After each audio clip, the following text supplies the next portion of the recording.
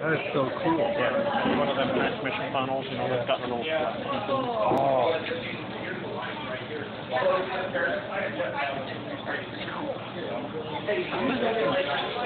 Now we just put a bunch of cement in the bottom of it to help raise the water.